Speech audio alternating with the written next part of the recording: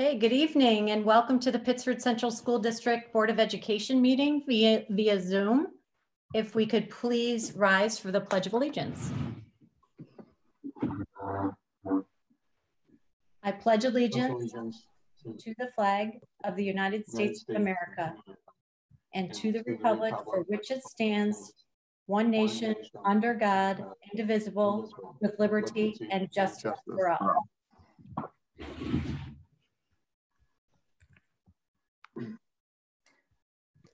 First person coming into the, meeting is Ben Peterson. Okay, first off, we'd like to just offer a moment of silence for the lives lost in this pandemic and for those families impacted by COVID-19 within our own community.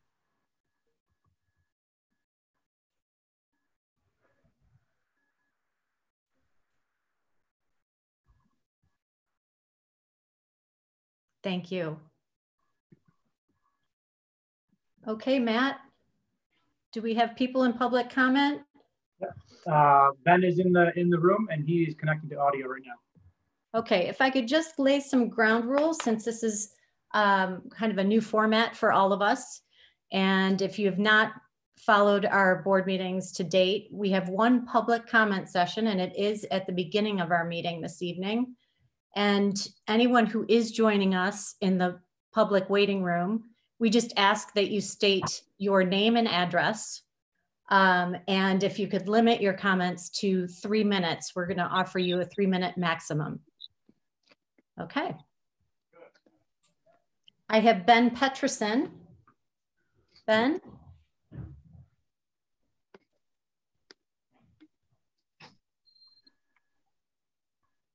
Ben? Yes. Hi, Ben. Hello. Do you have a question? Um, yeah, so um, I'm wondering if if you guys know the the plan for um for the fall. For The plan for, Uh, the fall.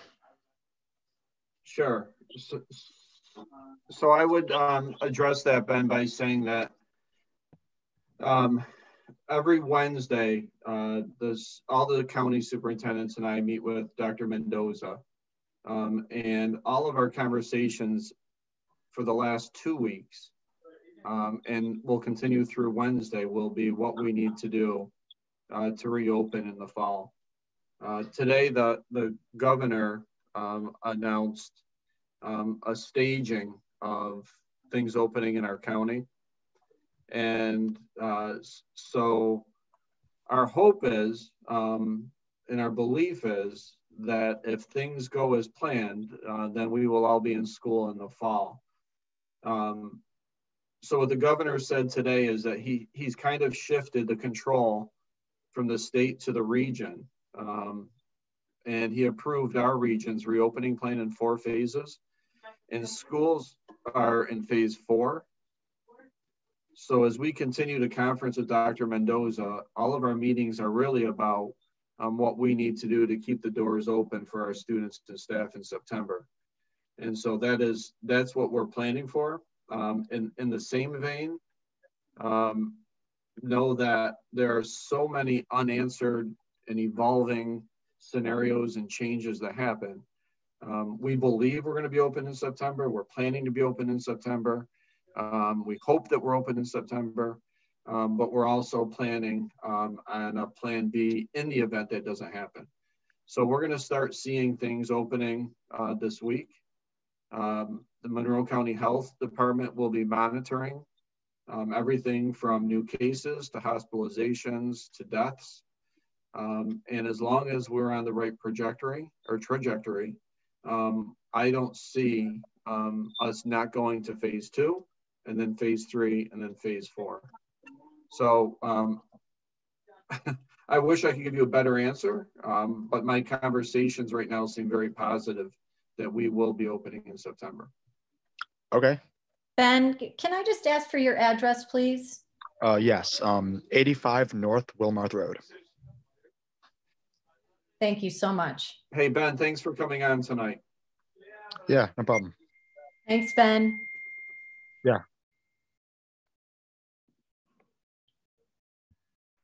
Anyone else, Matt? Yep, we have another one. This is uh, Dylan. and I'm gonna let them in now. Okay. Hi, Dylan, welcome.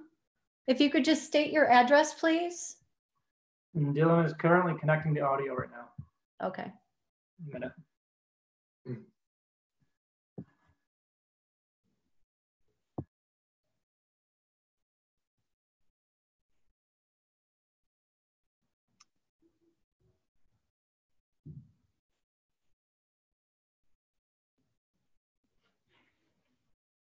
Hi, Dylan.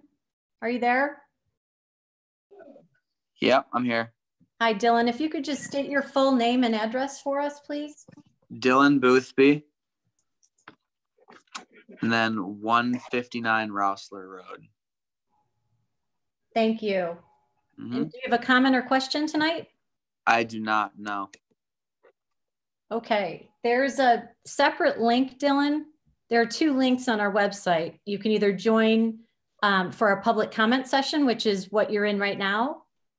Okay. And then And there's, then there's a separate link to join the meeting to watch. Okay. I'm Hey. gonna join the one to watch then. D- Dylan, before you leave, Yes. uh, this is um, Superintendent Pero. Ju- Mhm. Just know I always click the wrong link too. okay. I will do the other one one second. We're all guilty. We're all guilty. okay. Thanks. One second. Thanks for joining us, Dylan. No problem.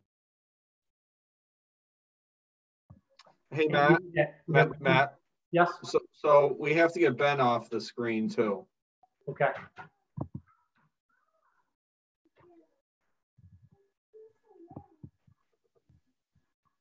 Thank you. And we have one person left, and this is uh, Robin Scott. Okay. And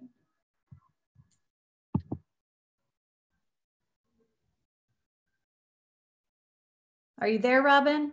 Yes, Hi, Robin. Welcome. thank you. How are you, Amy? Did you have something you'd like to share with the public or to the board? Oh, yes, I'm running for school board this year, Pittsford School Board, and I would appreciate your support. Okay, thank you. Hey, Robin, Yes, can you also just give your um, address? My address is 18 Bay Colony Drive, Pittsford, New York, Thank you. Division. Thank you. Robin, I don't know if you saw the second link on the homepage for viewing and watching the meeting. No, I didn't. Okay, there are two links. The one that you're on right now is for public comment session. Oh, okay. So if you Thank- can log out of this link and then listen. log back into the other link, that would be great. Oh, thank you. Thanks for joining us. Amy, at this time, the meeting room, the, the waiting room is empty. Okay. Then let's move along. May I have an approval of the agenda, please? Renee and Kim? Any edits, comments? Nope. All in favor? Opposed? Motion carried. Okay, it's time for the 2020-2021 proposed budget presentation and adoption. I think we're beginning with Mike. Thank you, Amy. So I want to just give a, an overview, a, a quick overview of our, our current environment that we're in. Um, it- it's posed quite a bit of unprecedented challenges as we put together our budget. And I would note that it's very easy to get lost in these challenges and lose sight of the foundational requirements and premise of developing, presenting, and adopting a New York State school budget. Um, there are many unknowns still to this date from the governor's office that we're going to need to, um, or will eventually um, have clarity to. At this point, though, should we be screen sharing, Matt? Um, you're on mute. Uh, you, I've got Darren's presentation. Is that what you want? Yeah, All right, Darren's gonna, Darren's gonna present that. Okay, Darren, you're on mute too, so you can unmute and then if you can screen share. You might have to make him a co-host.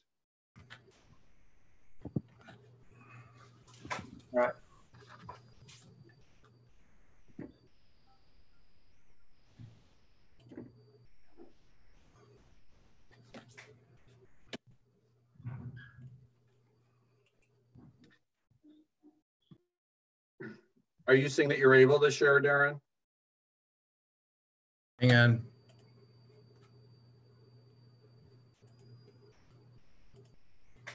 Beautiful.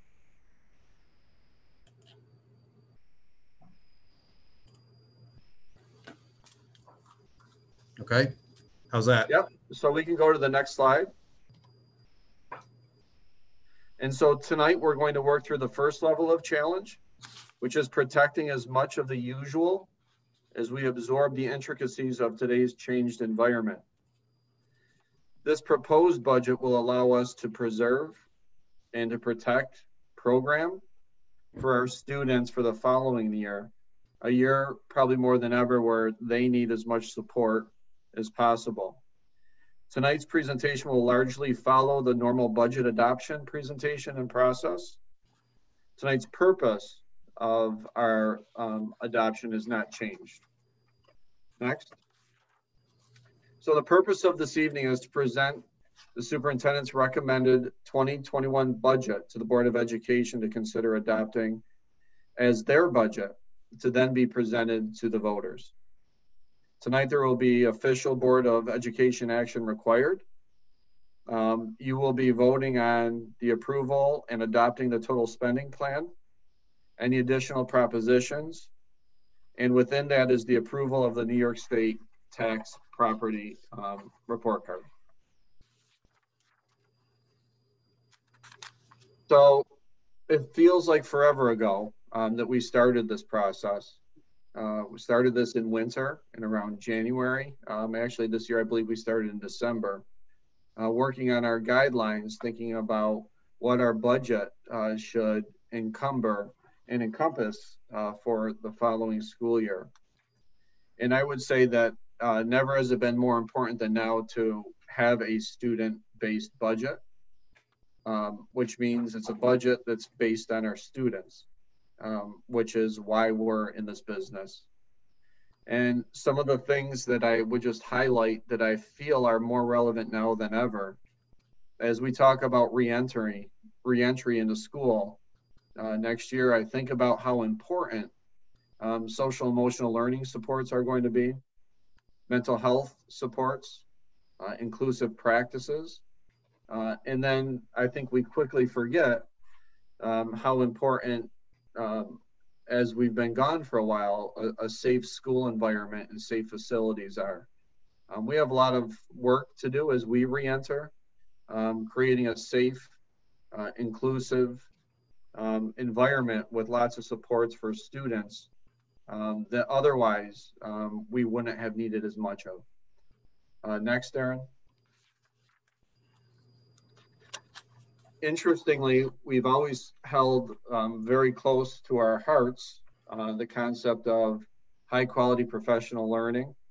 Uh, we've always believed that professional learning um, is foundational uh, to um, having the people in front of our students um, being as well equipped and as um, um, knowledgeable uh, around best practices.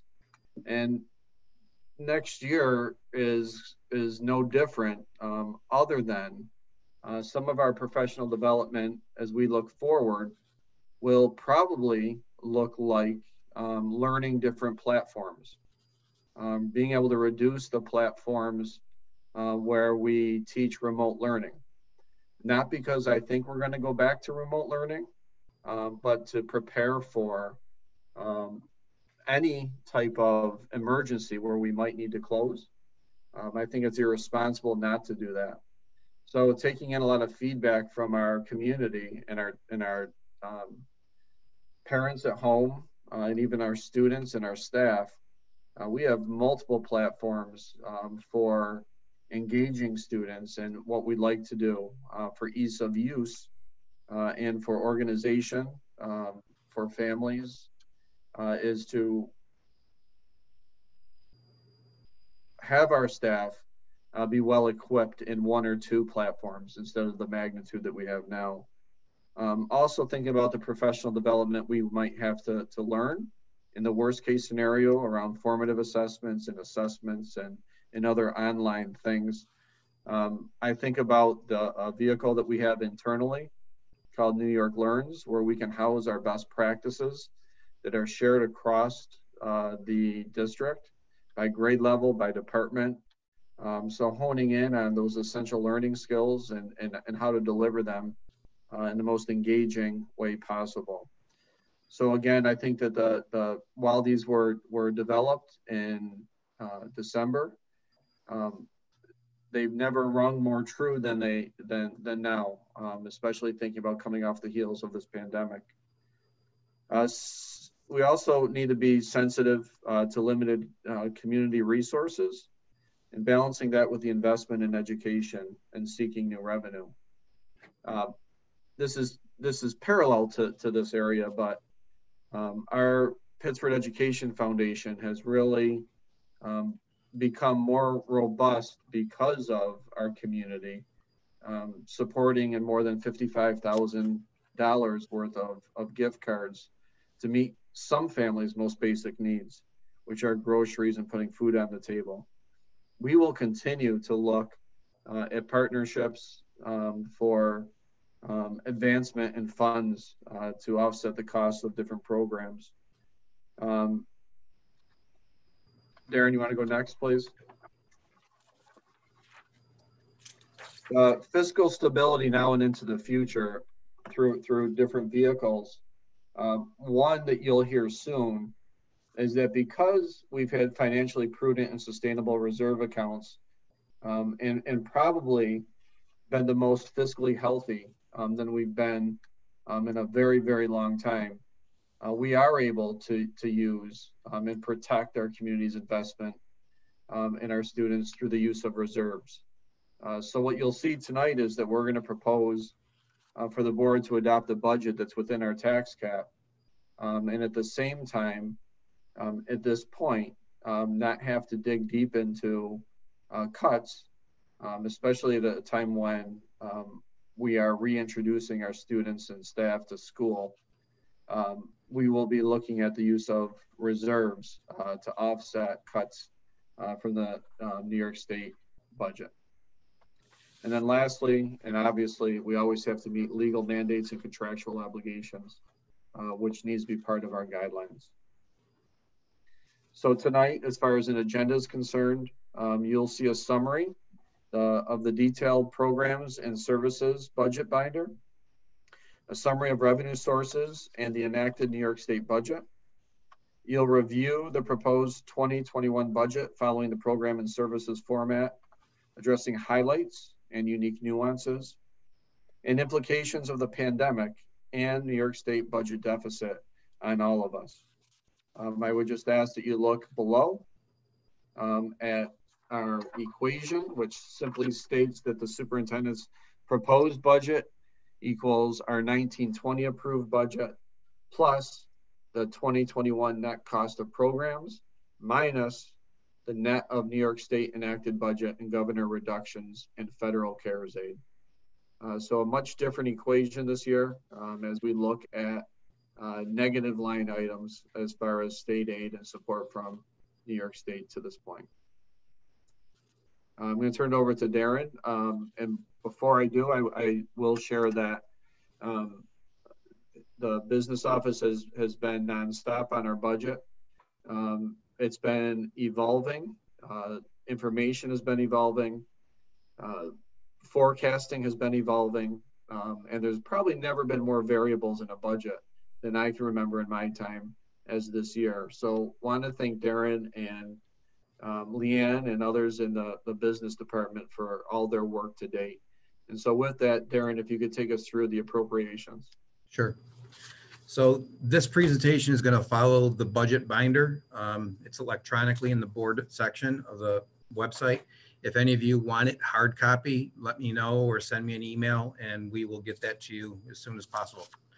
Um, But this uh, summary is the appropriation side of the budget and it follows the actual tabs. So we have the schools, uh, the small font adds up to the bigger font at the top there.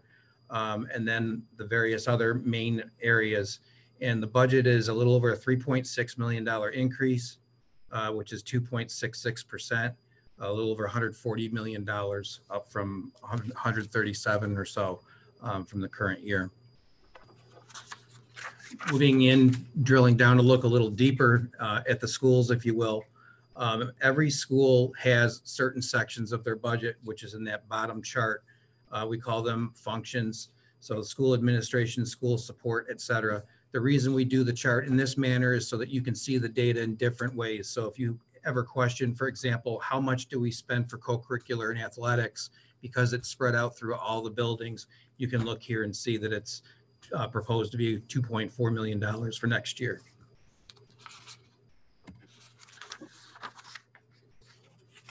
So looking at the elementary schools, and you can see the same function areas right going across there. Um, A lot of um, investment, if you will, in social emergent, social uh, emotional learning and behavioral supports. Uh, Special education is an area that can fluctuate from year to year as it moves throughout the budget. This can be for a bubble of students, their special needs, or some special programs that they need. Sometimes it can be just because of changes that BOCES or, or the center that they go to if they're not in district um, and how they provide their services. Basically, all sections of the budget um, do have some retirement attrition savings that has been factored in. Moving on to the middle school, um, speaking of that retirement attrition, you see that in the school support. It's a negative number. Um, in the pupil services area, that has to do with some of the behavioral supports that we that we spoke of, and uh, and counseling staff. So middle school is about a 3.6 percent uh, increase. Excuse me. High schools 2.4 percent, a little under half a million dollars. Um, additional social work capacity uh, going on there, as well as in the special education area. Um, Monroe One BOCES, uh, just like the rest of us, but even more so for a BOCES, has had a lot of, has had a very difficult time attracting one-to-one aides and paraprofessionals to work in their programs, especially with the very intense students. They tried on a pilot basis this year, a new model so that uh, there'd be more certificated teachers in the room and less one-to-ones. Uh, that model has worked well and they're expanding it throughout their program for next year. So uh, depending on which programs your kids are in, some schools see a decrease in unit cost for that. And, and depending on the program, and unfortunately, the programs that we're in are the ones that had the increase. So that's why you see that increase there in special education. Central Student Services. um, This is basically special education, uh, the area of Dr. Von Brogan for student services. Um, investment in the restructuring of the nursing staff is, is one of the drivers here, uh, as well as uh, some of the supports that we provide to the non-public schools that we're really legally required to do so. So overall, an 8.2% increase there, or $794,000. And Darren, if I could just hold there for one Yep. second.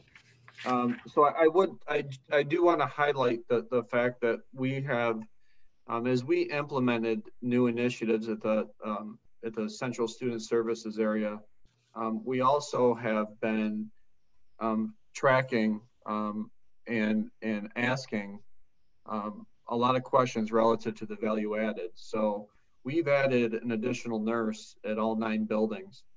And that was, that was necessary.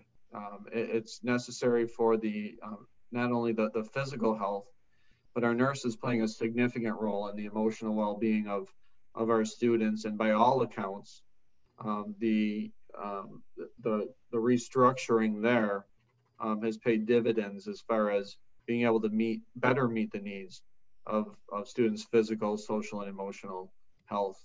And, and along those same lines, um, when we look at this budget area, um, we are talking about uh, increased supports and, and, and mental health needs. Um, this is our, our let, this was our first year ever in the history of Pittsford that we actually have a full-time um, social worker uh, within our um, teacher's contract that works at, at high school. Uh, and speaking with with um, the social worker, um, the amount of um, students and families he's been able to work with that otherwise um, weren't identified has been uh, significant. Um, so uh, I, I did want to address this slide a little bit because the, the work in this area um, has been really to address social, emotional, and mental health, um, as well as physical health of our students. Thank you. Moving on to central instructional services, um, curriculum office and district textbook. Textbooks, as you know, are aided by the state on an allocation basis per student, as well as we have to share that money um, or buy textbooks for the private schools that were, are within our borders, and it's called the textbook loan program. Same thing goes for um, library books, software, and hardware. Uh, standards leaders, there's a little bit of restructuring there, as well as the implementation of the um, collective bargaining agreement. Um, pupil personnel, um, that was for behavioral specialists and it was part of the social emotional initiative. Uh, and there was some reallocation of a part-time clerical person from one department to, to the other. So 7.38 or $289,000 um, for this section of the budget.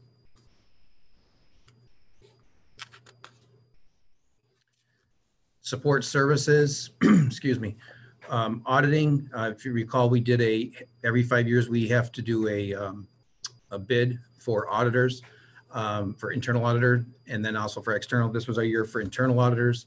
Uh, that was a little bit more expensive, um, as well as um, the increased demands for the internal claims audit function. So we've budgeted appropriately for that.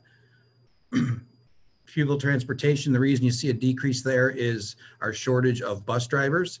We actually are down a few FTE because of it. And with some of the restructuring we've done to, to cover that and combining routes, we're proposing to not uh, replace a couple of those positions as well as the average salary of our bus driver pool has decreased. Um, our overtime is up a little bit because of having to cover some of those routes. And then the other side of the coin is we don't have enough drivers to do all the special routes such as field trips or after school trips. So um, the buildings are contracting more of that out and we're not incurring those costs. So overall support services is only a 0.43% uh, increase. Central administration, which includes the superintendent's office, Board of Education, uh, Public Information and Human Resources. Uh, Board of Education, you see a pretty large negative number there. As you recall, uh, about two months ago, you elected to not uh, belong to the New York State School Boards Association for next year.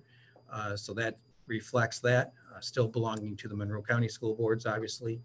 Uh, The annual meeting code, that's the budget for uh, paying for uh, inspectors and ballots and all the things that go, go along with the actual vote. Public information, we've opted out of a BOCES service that has affected some savings there. Uh, In the personnel services, the main driver there is we're, we've opted into a BOCES service called the Fellows Program, which helps us with the shortage of substitute teachers throughout the year. It's, it's a program uh, that we do through Monroe Two BOCES that um, provides students working on their teacher certification. Moving on to the, what we call unallocated or undistributed expenses. And these are kind of the things that are very difficult to um, parse out to other areas of the budget. And these are the required codes by New York State. Uh, Debt service and, and internal transfers, uh, you see a decrease there. This uh, coming year, we have a half year payment on the energy performance contract that goes back to the huge capital project we did back in the early 2000s. So that is all over with. Uh, so there's some savings in, in the debt payment there. In a few minutes, you're going to see we also have a reduction in building aid um, because of it. um, BOCES administrative charge, you recall the uh, BOCES capital project that we- approved a while back. Uh, Those costs have been factored in as part of the capital and administrative charges. And benefits for the second year road uh, is not a major item to, to talk about. In the past years, we've seen that be in the double digit of percent of increase. Um, This year, we've seen the, the retirement system rates come down some. Uh, TRS is scheduled to go up. ERS is, is about the the same. Uh, And the health consortium continues to operate very well, uh, as well as we are starting to get into uh, the high deductible health plan and some people opting for the lower cost plans. And then the new PDTA contract, this was the first year of not making a contribution to the health fund for teachers. So um, for a first time in a long time, the undistributed expenses is not a main driver of our budget increase.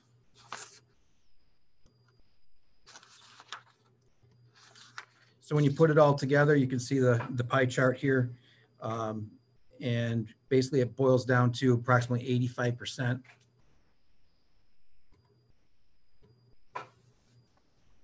Is it not showing up on the screen here? No, we see it now.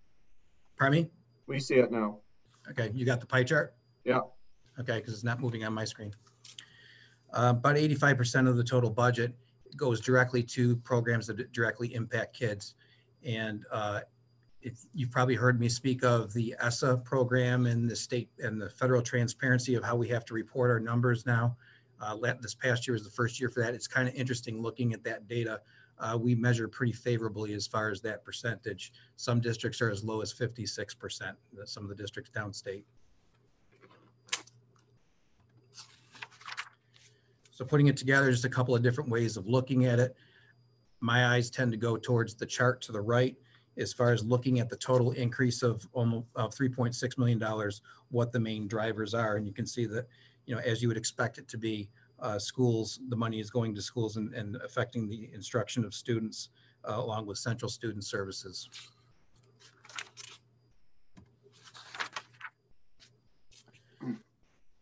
So moving on to the revenues, or as I like to say, how we're going to pay for it.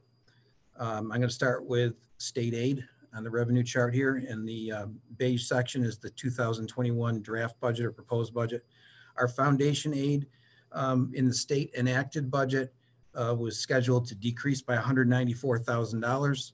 Um, That is the exact same amount as was allocated to us from the Federal CARES Act uh, that's going to come in as federal funds. That's part of the number down below where it says miscellaneous and other. So that gave the governor a little bit of a break. We did not get hit as hard by that because the allocation method was based on our title grants, how we are funded. And as you know, we don't get much title money uh, for a district of our size due to our low, uh, our high wealth and low needs. Full day conversion aid, you see a $220,000 decrease. Uh, This is the last year that we will get that conversion aid. It was a three-year phase out. Um, Transportation, our aid, we're projecting it to decrease a little. That's because our costs have decreased between the bus driver issues as well as fuel costs uh, being lower. BOCES, you recall the last couple of board meetings, we've done some budget transfers into BOCES services. That's what we did last year, and that helped our aid, BOCES aid to go up by eight hundred forty-three thousand dollars. So what we're trying to do is, is try to keep that aid at that level. So in the uh, operating aid section, we've got about seven percent increase or four hundred fifty-five thousand dollars. On the building aid side, we have a two million dollar decrease in aid, and we expected that. We, we, we knew about that. um, Of two million dollars, and we knew that for the EPC. Um, When we did the capital project, we put money into the debt service reserve, and there's very uh, limited how you can do that. But basically, any, any money that's left unexpended at the end of a capital project can go in for this purpose, uh, as well as outstanding payments. And when we restructured or or refinanced all of our debt six years ago, our payments were lower. And rather than using those payments to fund the budget, we used it to put it into the reserve because we knew that this was going to happen this year. So we're actually transferring money from the debt service reserve to help fund that. Urban suburban is up a little bit, and that's due to uh, state aid changes for Rochester City School and how the formula works, where we get a piece of that aid. Uh, The miscellaneous other, Um, As I said, the federal CARES money is part of that number. Fund balance and reserves, uh, almost $3 million, up $1 million. So we've increased our use of fund balance and the reserves. A good part of that is coming from the debt service reserve to help fund or make up for that building aid reduction. Our property tax levy is three million, eight hundred eighty-two thousand dollar increase or three point seven six percent. That is at the property tax cap. Uh, the reason why that number looks a little higher is, as I talked about with the state aid going away for the building aid, um, that makes our exclusion in the formula larger. So actually, our tax levy that pertains to our actual operating budget outside of that debt service is about two point one eight percent. The difference has to do with that net difference in the state aid versus our debt payment. If we were to go to contingent budget, if the voters did not pa- pass this budget, that three million eight hundred eighty-two thousand dollars would represent lost revenue. And I would anticipate we'd have to make budget adjustments to, to cover that money. So just keep that in mind as well.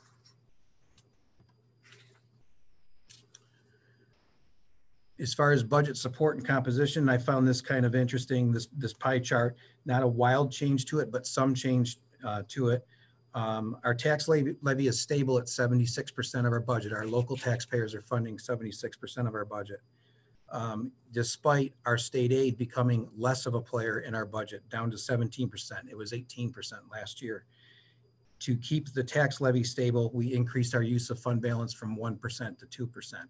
So we're doing what we can to keep that burden on the taxpayers uh, in, in check. Moving on from the general fund budget um, is the bus purchase reserve.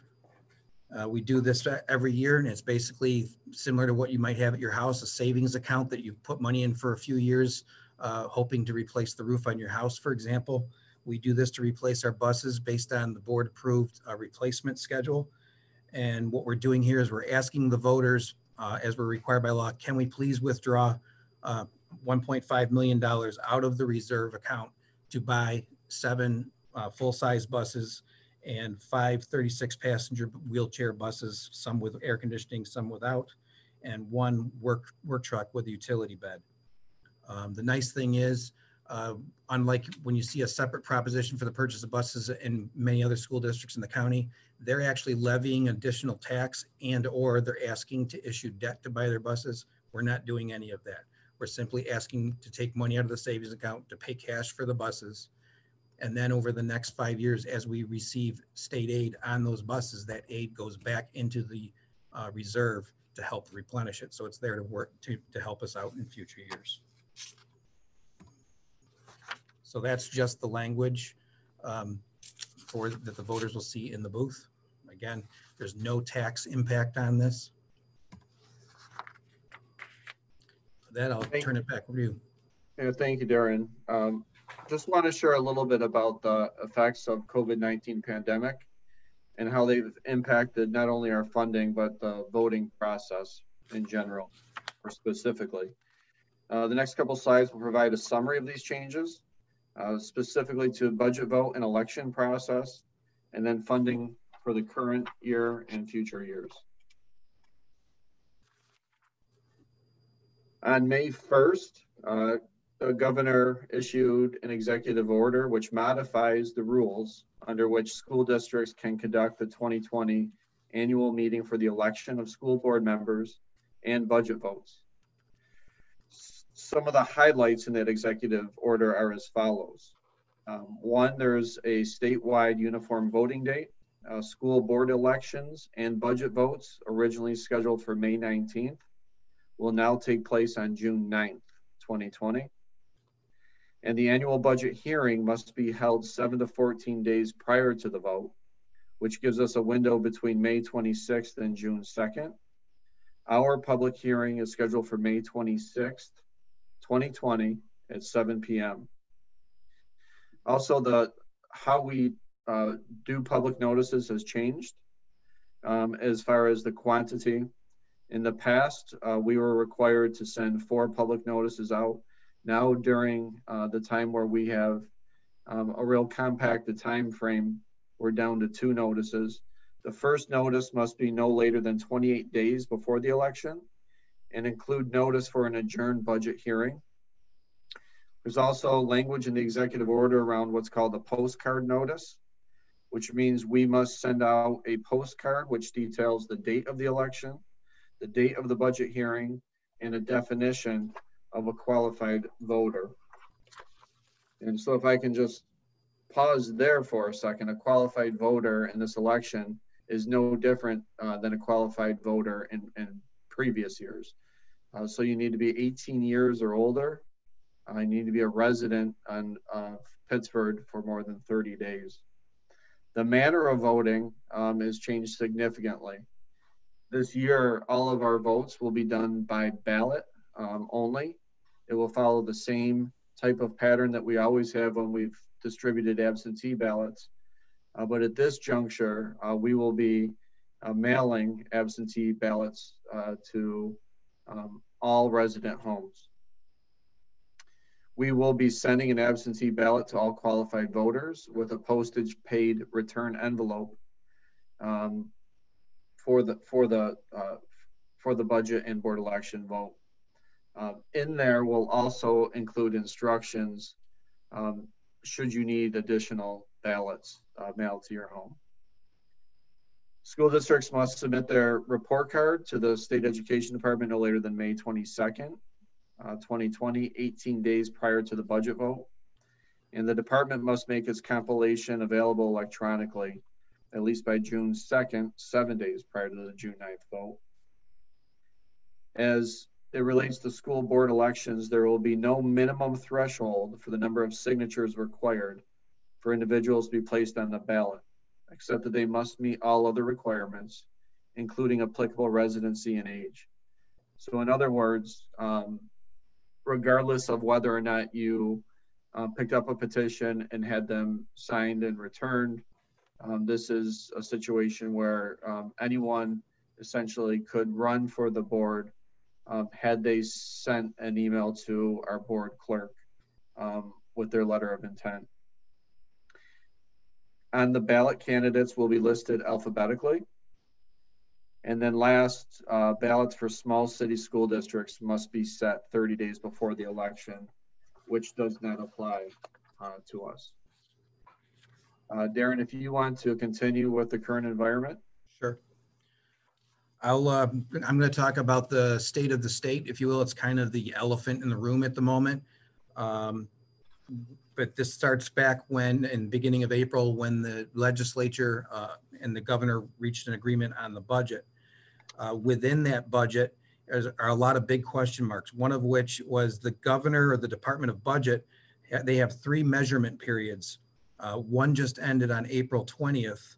Um, there's another one that goes from May 1st to June 30th, another from July 1st to December 31. And those, at the end of those periods, the governor or his Department of Budget um, has a plan to make reductions if there's certain parameters, and the parameters are in the second bullet here. Basically, if the revenues are more than 1% below projections or, and or expenditures are more than 1% above uh, um, ex- expect, expectations, uh, the Director of Budget is authorized to develop a plan uh, to reduce local assistance spending. Then what happens is the uh, legislature has 10 days to respond to that and come up with their plan. If they do not, then the Director of Budget's plan becomes, um, goes into force.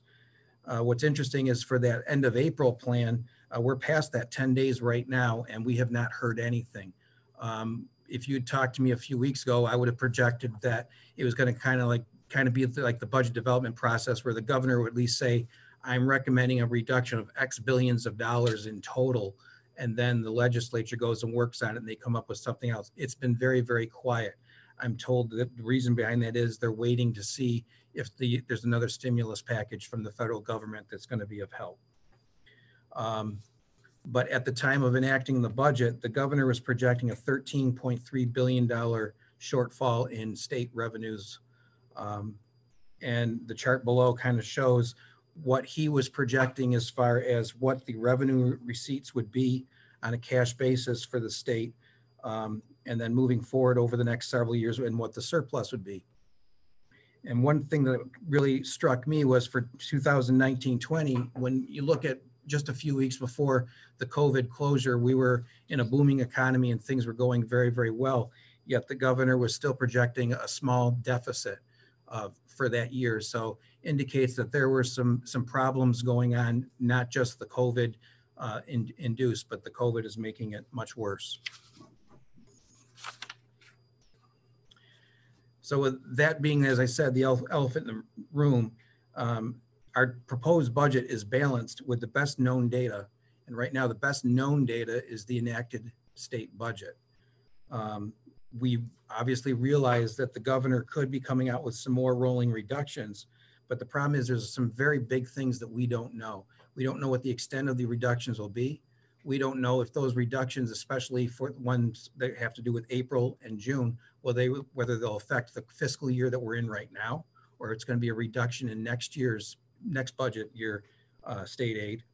And we don't know how those reductions will be allocated to school districts.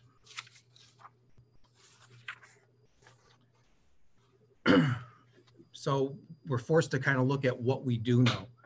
Um, And we do know that as a low-need district, we're not a huge part of the solution for the governor's uh, budget deficit. That doesn't mean to say that we're, we're, you know, we're, we're ignoring what could happen. But kind of like when we talk about when, when we have budget difficulties, um, reducing the amount of paper, we could totally eliminate how much paper we buy and, you know, we, we barely made a tenth of a percent impact on our budget. And that's kind of what it is for the low wealth school districts. If, if they took all of our aid totally away, um, he still has a long way to go. uh, unlike the state, we are in the best financial health that we've been in probably at least 15 years. Um, we do not have a history of operating deficits or worse yet, structural, we haven't had any structural deficits. So the school legally can't have a structural deficit. Rochester City is going through that right now. Uh, we have fund balance at the maximum of 4% and we have reserves. Now, reserves do have restrictions. That's why they're called restricted accounts for specific things, but some of them have more flexibility than others to help us. And I think you saw in, in the revenue presentation that we are starting to use some of those reserves to pay for certain things such as retirement system costs um, and post-retirement benefits, et cetera. Right now, we're sitting on $33.6 million in our reserves, the biggest of which, almost um, $24 million, is in our capital reserves. And in order to use those funds, we need voter approval to do that. We're projecting a surplus for the current year. Um, We are working on uh, trying to quantify with more precision what we think that will be, uh, with it being such a strange year that we have some um, nuances to that, but we're, we're expecting a pretty decent, uh, in line with our previous year's surplus that will help us into the new year as well. We also know that our community has come to expect certain programs and services and a level of performance of the district and fiscal stability and predictability.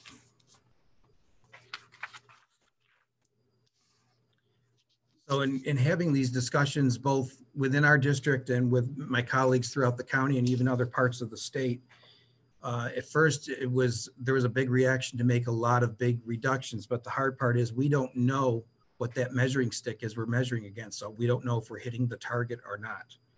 Um, and during this time of um, turmoil and people feel like they're losing a lot, it's kind of hard to say we're going to cut these X things that you that you value.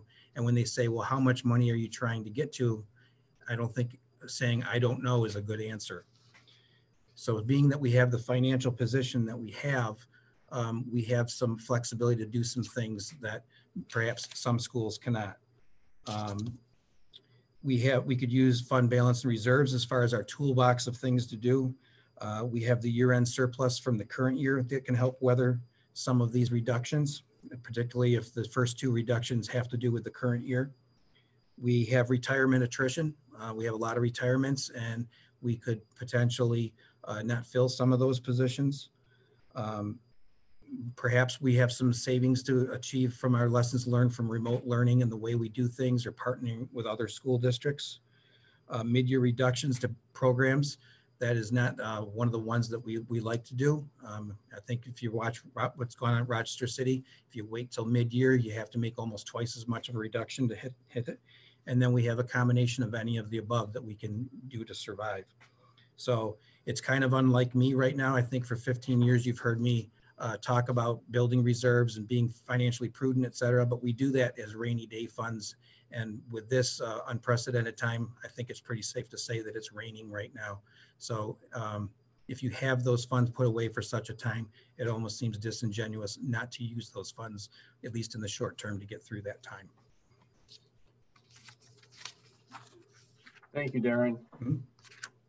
So the proposed 2021 budget is balanced, uh, certainly remains within the property tax cap, and it preserves our programs and services. It's calculated to be at 3.76% uh, as far as an increase over the approved 1920 tax levy. The tax levy increase um, due to the operational, the operating budget is 2.18%. Uh, the additional 1.6 per New York state law is an exclusion to the tax levy limit. Basically because the voters already approved the debt issuance with the 2003 capital project. The proposed budget, um, as far as the, the, the county average, um, is certainly contained. Um, I think it's important to note that we also have the lowest foundation aid per pupil uh, in Monroe County. So I, I would highlight again that we're within the tax cap um, and with the help of reserves um, that have been um, growing over time, um, we are able to uh, maintain what we think um, our children are going to need as they come back to school with us next year. Uh, next, Darren. Couple dates. Uh, May 26th is our public budget hearing. Um, of note, we will change our format of our uh, board meeting on that night. Uh, there will be a presentation uh, followed by uh, public comment uh, after that presentation. On June 9th is the budget vote and board election. And per New York State order, this election will be done by absentee ballot only. Uh, absolutely no in-person voting. There will be no on-site voting. simply is not permissible ballots will be mailed to all eligible residents to the district with return prepaid postage. We will also specify um, a process uh, should you receive less ballots to your household um, than requested. So if there are two members in your family and for some reason you received one ballot, um, there will be a process for you to request a second ballot. So at this point, um, I'd like to um, address any questions or any type of discussion um, on behalf of the, the Board of Education.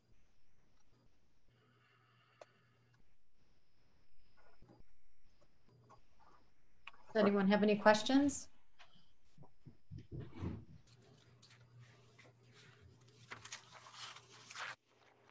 Yeah, hey, Mike, um, this is Pete. With regard to the absentee ballots, the ballots, the return completed ballots must be postmarked by June 9th. Is that correct? Must be in our, um, we, we must have them uh, by June 9th, by five o'clock. Hmm, okay. Interesting.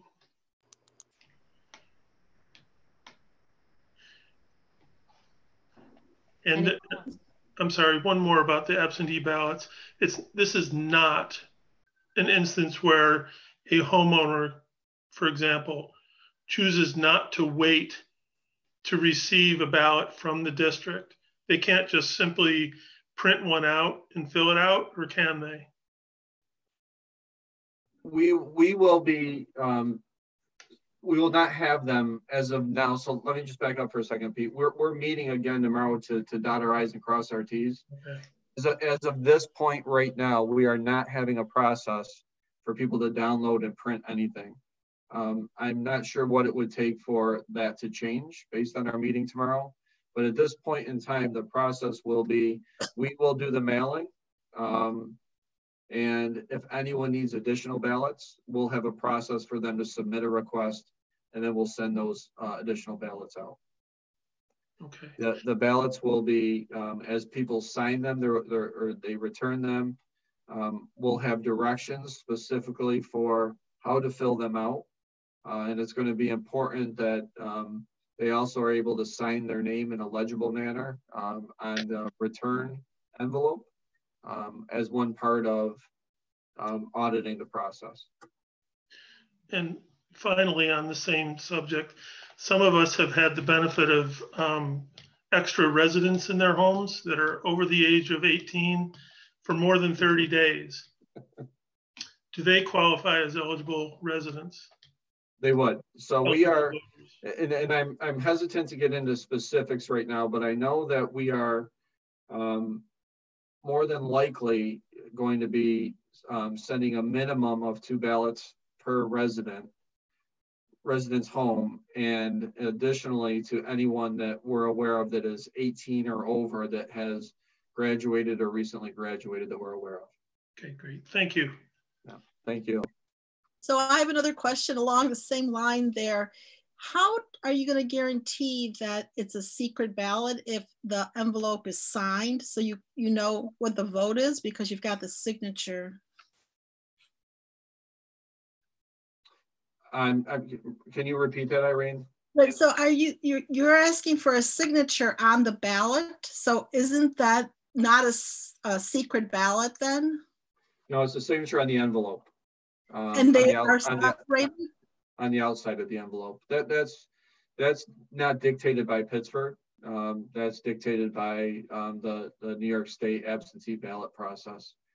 Um, we're, we're, really want to make, we want to um, be very, very um, structured in our um, receiving of the ballots, um, counting the ballots, locking the ballots, uh, we have no idea, uh, to be quite honest, how many ballots we're going to receive. Um, in talking with with other superintendents of of those even in larger districts, um, it's going to be interesting to see if we can count the ballots in one night. And then we're working on a process if, if we can't. So we're going to be looking um, for a significant amount of workforce uh, to, with, with the oversight of the Board of Elections um, for us to receive, count, secure, announce um, that, that evening if possible.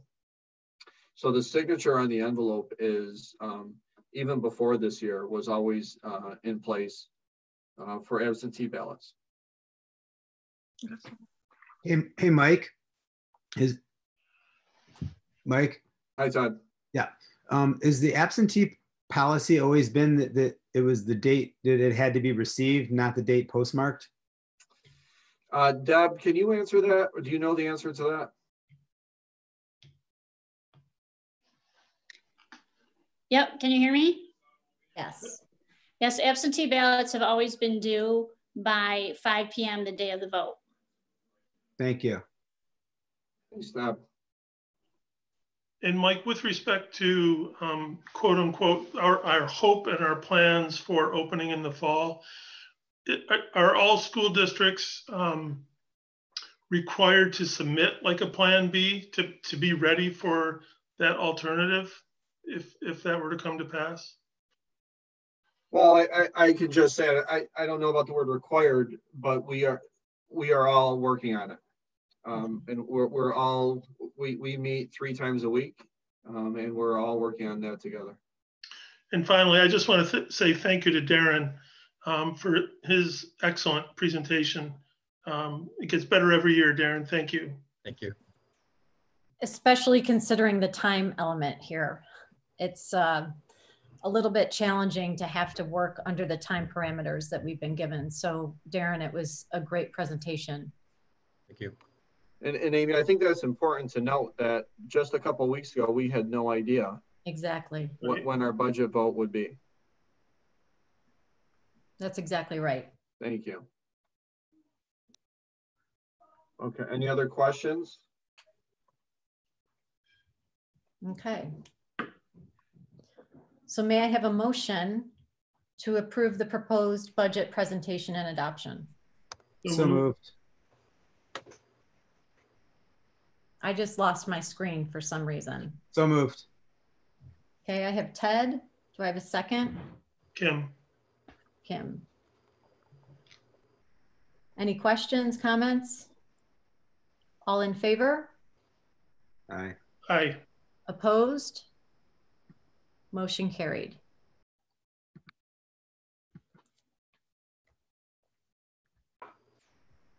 Okay. And may I have an approval of the minutes? So moved. Irene? And a second? I can't, I can't see anyone, so if you could just shout your name out. I think it's Val. Okay, Thanks, Val. Any edits? None. Okay. All in favor? Aye. Aye. Opposed? Motion carried. Okay, Board of Education reports. Um, As I mentioned the last time, very few meetings left. We did have a board president's meeting this week. And we decided that we will be convening for one to two more Zoom sessions um, in light of the situation and how quickly things are changing. Um, the board presidents felt that it was a time where we could um, meet via Zoom and share what is happening in our respective districts. So I will keep you informed on the next date. We don't have one as of yet. Um, we're anticipating meeting after we hear the governor's message this Friday. And then the only other report, I know Kim, you wanted to report out on community outreach. Yes. Can you hear me? I can hear you. I just can't see anyone. Okay. Um, yes, we met, um, the- the Community Communications Outreach Committee met a couple weeks ago on, well, April 29th. And so we reviewed three things that we'd already done, which was a current position on the, on the mandates and um, how it related to, see if we want to make any changes to that.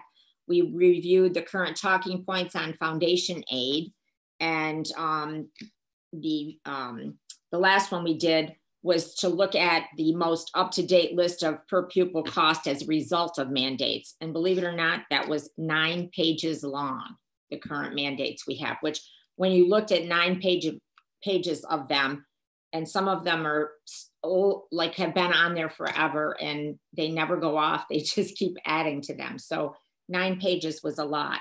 So after looking at all those, we came up with two things. We actually did a COVID-19 talking points paper, which I think everybody commented on that. And um, the, as you know, probably all these uh, talking point papers go to the board presidents and then they distribute them as they see fit to the current, you know, to current board members. So we should be getting that.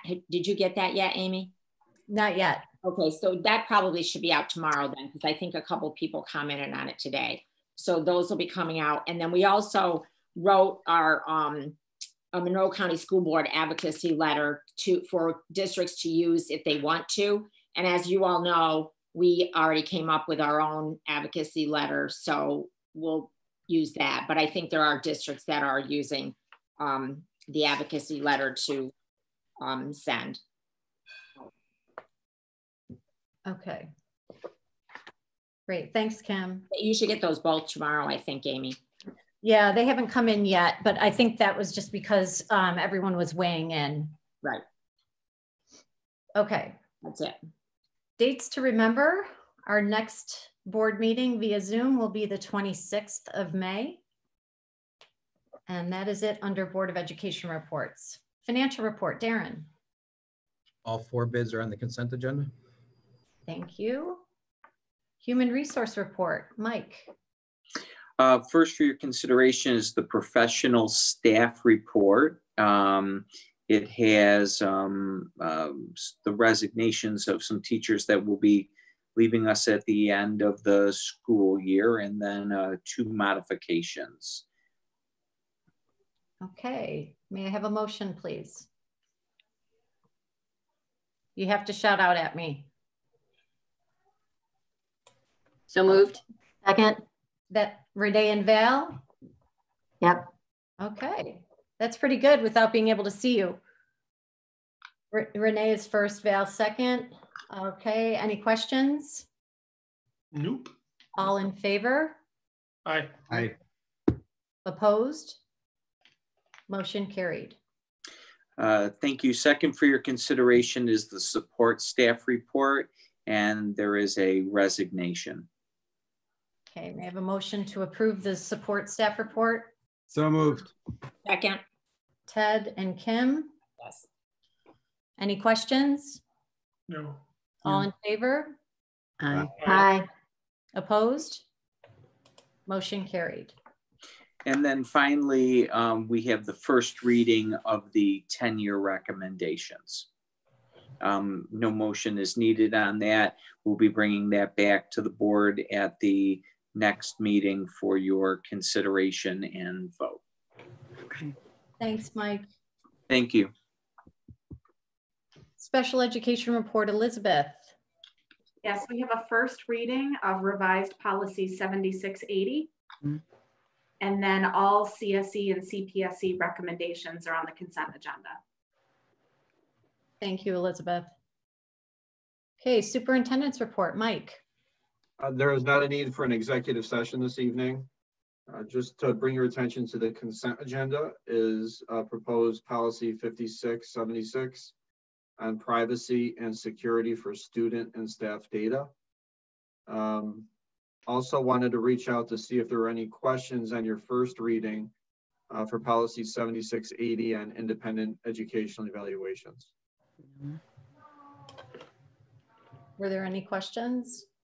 No, none. None. Thank you. Uh, so if I could, just take a, a few minutes, I, I sent out an email or in my update this past week, past Friday.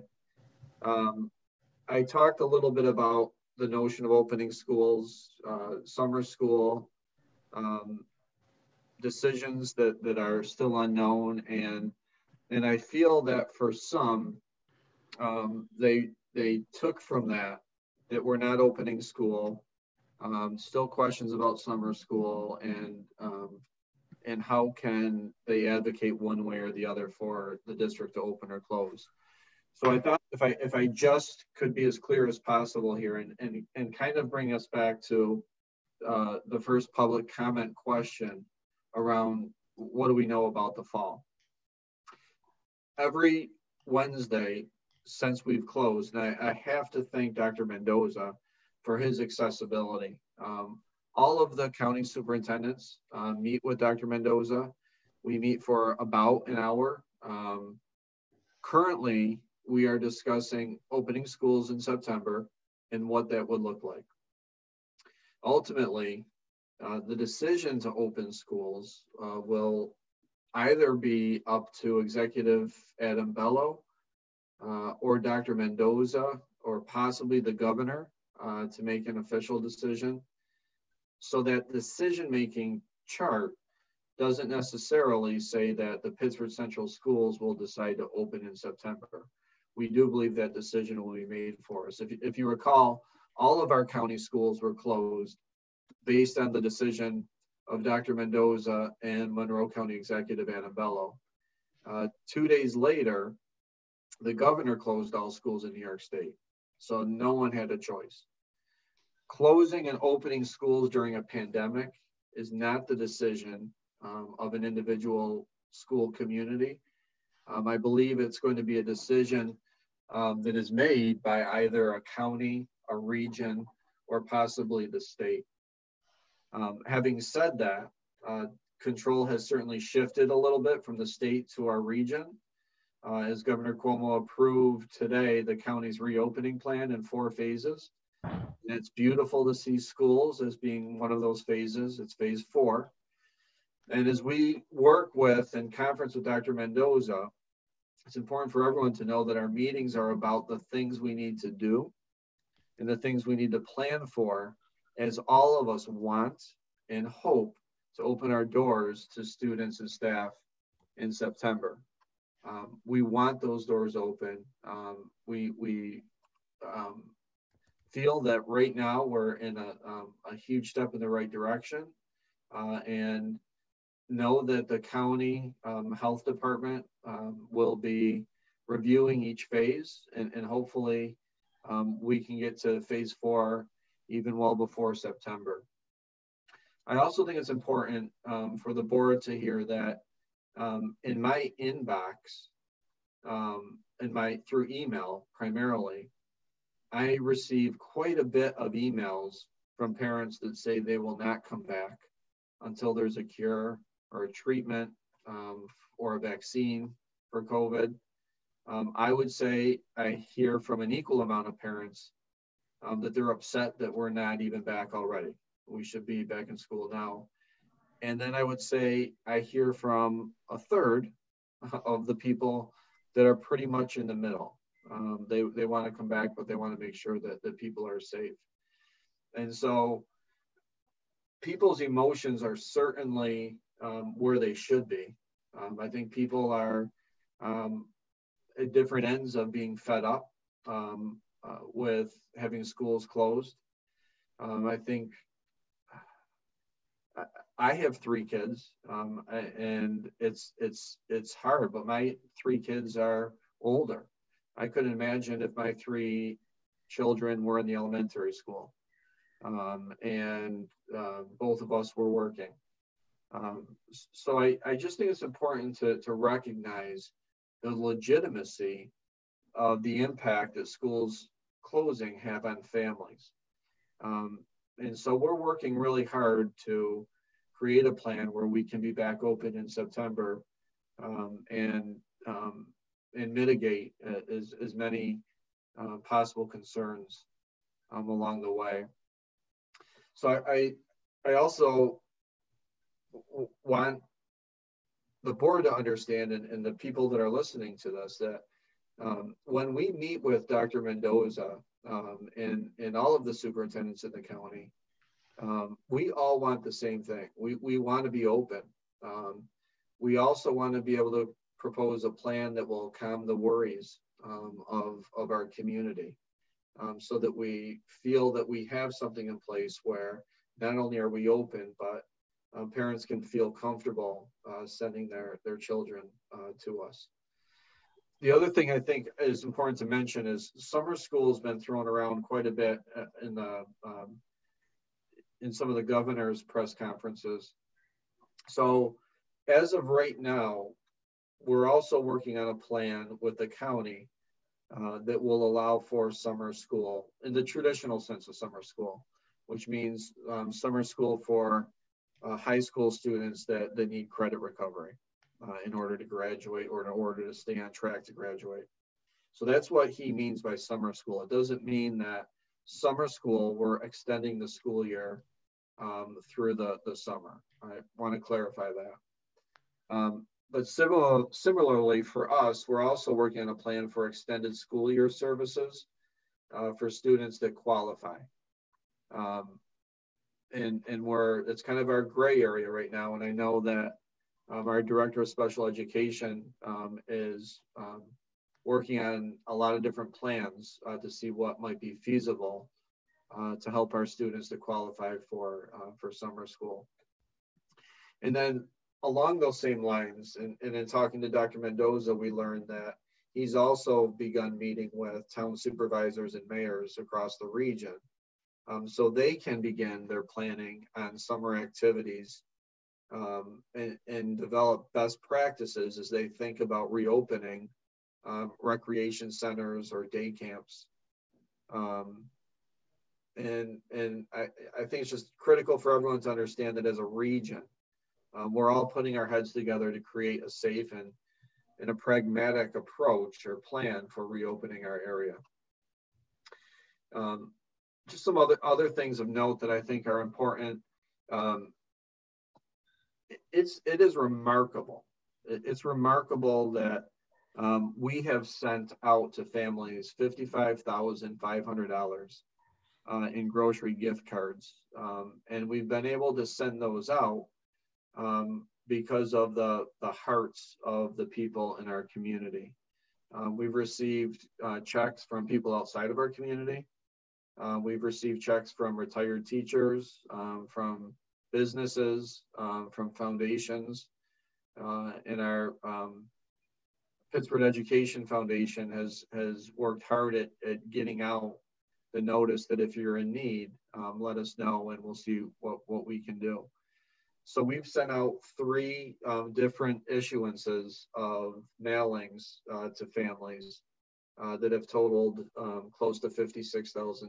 It also puts things in perspective of uh, where people are at in our community as far as um, going through hard times, um, having to worry about basic needs being met.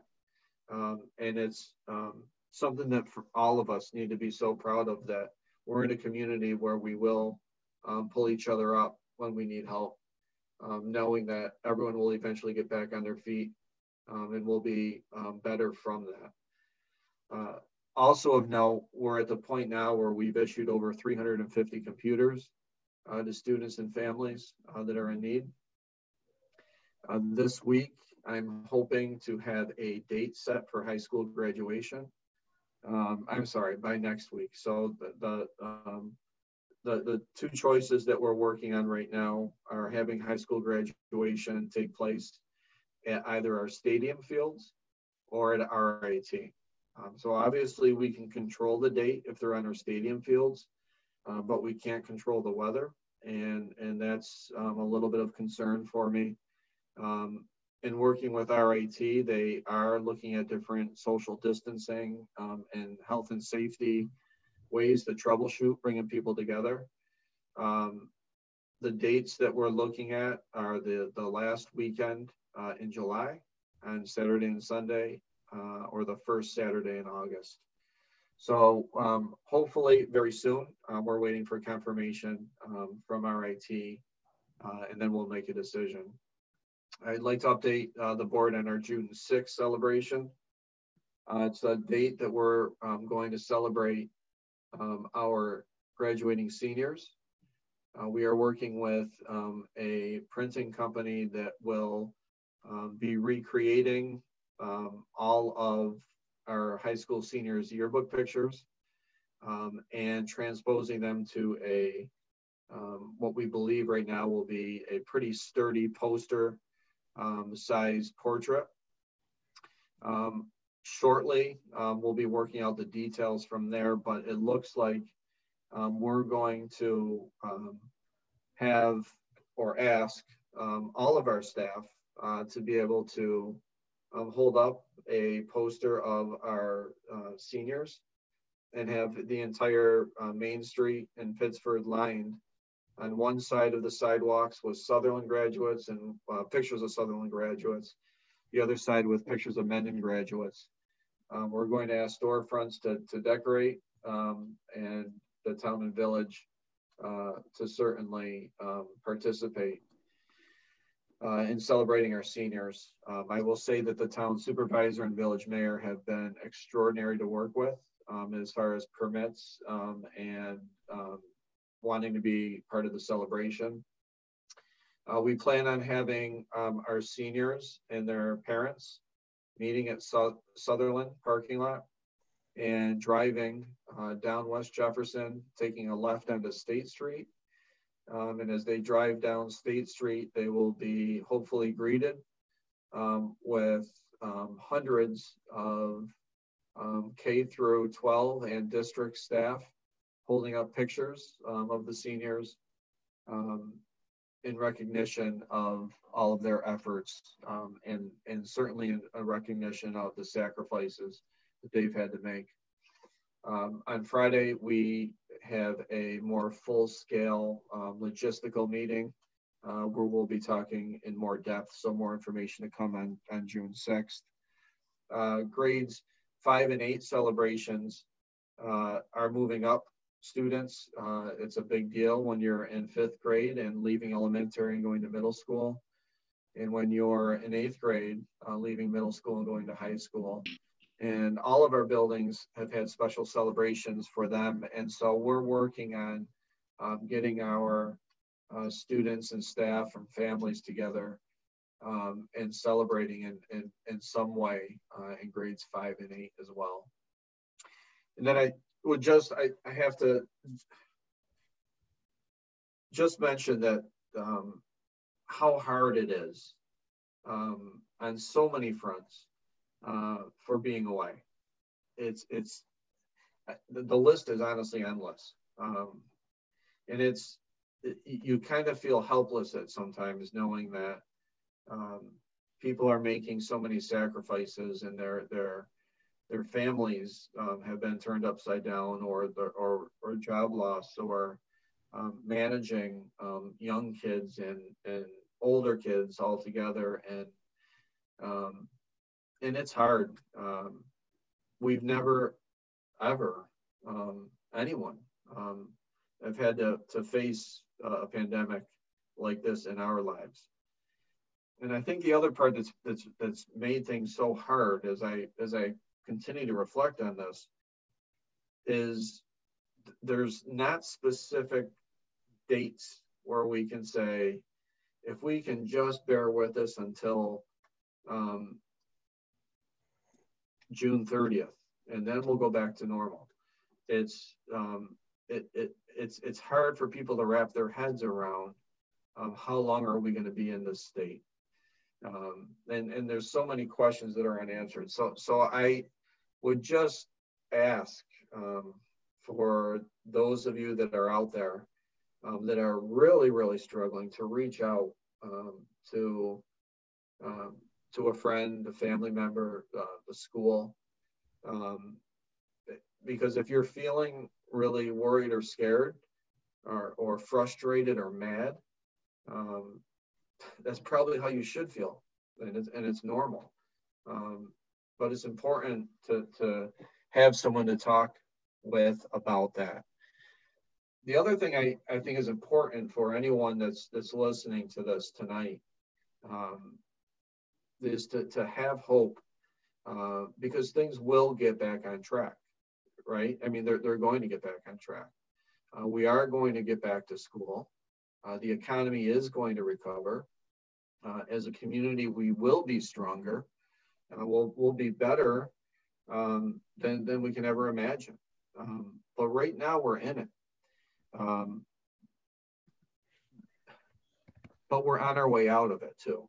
Um, I, and I and I think that that's important as far as mindset. So um, we are um, starting uh, to plan for reopening the region. Um, I think it's important for people to practice um, the, the safe things that we know are working, social distancing and hand washing and, and all of the, the, the, the wearing the masks. And then each phase goes through. Um, if we do this well, I, I think that we're in better shape possibly than we might realize. Um, but you you need to please hang in there. You need to uh, please have hope um, and and know that um, the Pittsford Central School District wants to be a place um, where if you need help or support, uh, that we can provide that to you. Um, so pick up the phone if you need it, send an email to uh, myself, uh, to our student services director, uh, to the building principals. Um, you're, you're, certainly um, not in this alone. So know that I'm thinking about our community um, all the time uh, in every aspect of that word community. So um, want people to know that uh, things things will get better, and I and I think that we're closer than than many um, might believe. So that's it, Amy. Thank you. Thanks, Mike. Okay, may I have an approval of the consent agenda? So moved. Kim? Kim and? Pete. Okay. Pete? Okay, all in favor? Aye. Opposed? Motion carried. Old business, does anyone have anything under old business? If not, I just wanted to piggyback a little bit on what Mike was talking about. And first off, on behalf of the board, we would once again like to just recognize those that are in our community who are on the front lines of, of the crisis. The first responders, healthcare professionals, doctors, nurses, pharmacists, grocery store workers, everyone who is in an essential business during this time, we thank you from the bottom of our hearts and our continued prayers for your safety and wellness. And as I've stated over the past few weeks, our board is very proud of how the district has handled the crisis, how we've prioritized the safety and security and health of our staff, students, and families. Um, each day and week that passes while we're all in New York State pause, families are facing new hardships. It's in how we address the hardships that speaks volumes about who we are as a community, contributing in ways we never could have imagined. We've all, I believe, and the board believes, have become better citizens, taking time to focus our efforts on what's important and what should take precedence in our lives under these unique circumstances. So last year, or last year, last week, feels like last year. Uh, last week was a Teacher Appreciation Week. And if there was ever a time to thank our teachers, this would be the time. During household pandemic learning, we've all gained, we meaning all parents, have gained a sense of appreciation for the talent and the patience and creativity that, it takes to be an educator, especially under duress. I believe that we would all agree that learning remotely does not replace in classroom instruction, but teachers are rising to the challenge of a 360 degree shift in how to best provide essential learning during these uncertain times. We thank you. Is it perfect? No, but as I've been saying in my house, practice makes progress, not perfect. And perfection during a crisis just doesn't exist.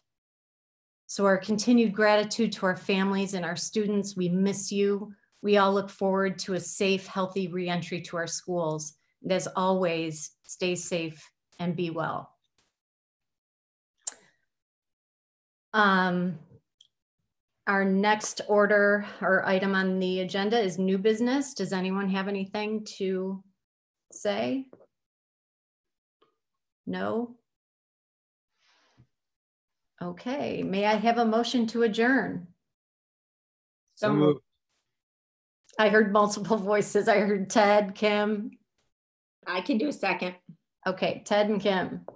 All in favor? Aye. Opposed? Motion carried. Thanks to everyone who joined us this evening.